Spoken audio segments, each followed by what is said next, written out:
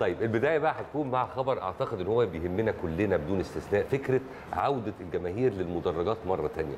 ده موضوع في منتهى الأهمية بالنسبة لكل الناس. الحقيقة إن رابطة الأندية المحترفة من بداية تأسيسها وهي حريصة كل الحرص على إن هي تحل هذا الأمر ولو عودة تدريجية بنسبة بسيطة. في قرعة الدوري اللي اتعملت الأسبوع اللي فات أقرت رابطة الأندية بالفعل حضور ألف مشجع لكل فريق وإن كل نادي بيكون مسؤول عن جماهيره. كمان وضعوا في الاعتبار طرق الحجز الإلكترونية إلى جانب وضع بعض المحاذير الخاصة بالدخول لهذه المباريات بالإضافة طبعا إلى ضرورة تلقي اللقاح ضد فيروس كورونا.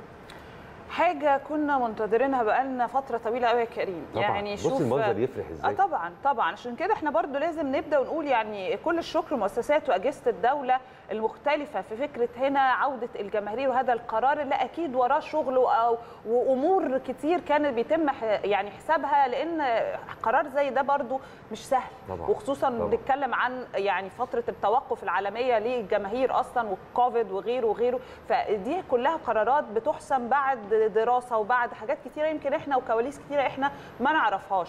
فشيء محترم جدا والموضوع ده بقاله تقريبا كام يوم ولكن الجديد بقى إن بنتكلم هنا عن المحاذير. يعني المحاذير اللي وضعت وكمان اللي إحنا بنتكلم عن آه، ما ينفعش ان هي يتم. يعني فقدانها أو الخذلان منها أو إن أنت آه، تعديها لا في محاذير معينة علشان الجمهور إن هو آه، يقدر إن هو يرجع والموضوع كمان يتم بسلام بنتكلم أول هذه المحاذير عدم دخول أو استخدام مؤشرات اللي هي الليزر عبوات. الطلاق اللي هي الحاجات. طبعاً.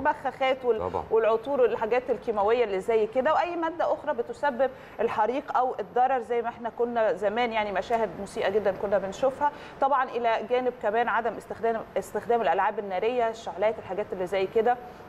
وأيضا فكرة هنا التدخين بكل أنواعه وأي حاجة أي يعني ماتيريال بيعمل ضجة أو بيسبب يعني صوت عالي آه، غاز حيوانات كل الحاجات دي زجاجات.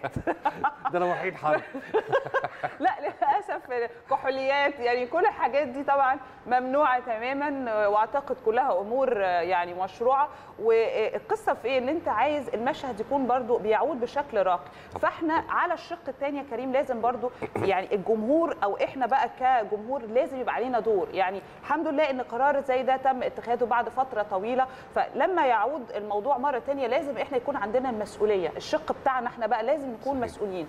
ف وعلى قد المسؤولية زي ما بيتقال فنتمنى إن المشهد يكون فيه رقي. وزي ما كنت بقول لحضراتكم أنا وكريم الموضوع هيعود تدريجيا ولكن وفقا لمحاذير. فإن شاء الله يعني يكون الموضوع خير في الفترة كمان اللي جاية يا رب لازم نكون مسؤولين والا ما نرجعش نزعل والا ما أيوة، نرجعش نشتكي هو ده بقى الكلام. ونرجع نتندر على الأيام الخوالي اللي كنا بنسعد فيها برؤية والاستماع إلى صيحات الجماهير اللي بتشجع وبتؤازر سواء النادي الأهلي أو منتخب مصر.